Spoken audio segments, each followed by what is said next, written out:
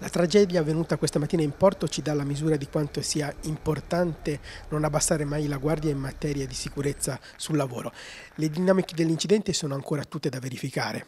Sì, le dinamiche dell'incidente sono ancora tutte da verificare e vedremo nel proseguo chiedendo anche un incontro all'azienda di capire meglio eh, cosa è successo. Nel frattempo mi sento di fare le mie più sentite condoglianze mie, di tutte le organizzazioni sindacali e dei lavoratori, oggi molto colpiti, molto provati. Alla famiglia, eh, è chiaro che questo incidente comunque dimostra quanto, nonostante quotidianamente si lavori e si presti attenzione rispetto ai problemi che riguardano la sicurezza sul luogo di lavoro, probabilmente quello che facciamo non è mai abbastanza. Nel porto le situazioni sono sempre un po' particolari, nel senso che magari gli incidenti sono meno frequenti rispetto ad altre realtà, ma quando accadono generalmente sono piuttosto pesanti.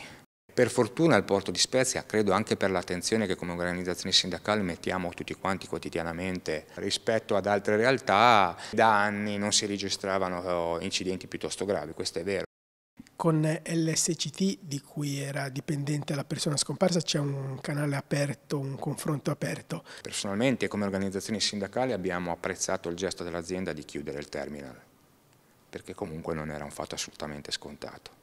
E quindi è un gesto di sensibilità, di rispetto nei confronti dei lavoratori, dei suoi colleghi e della famiglia che a noi ci ha fatto molto piacere. Chiaro che avremo degli incontri con l'azienda a breve, breve tempo cercheremo di capire meglio, al di là del fatto che c'è l'autorità giudiziaria che a questo punto dovrà capire le dinamiche dell'incidente, ma comunque cercheremo di capire meglio con l'azienda eh, le cause e vedere come intervenire per far modo che non accadano più incidenti come quello di oggi.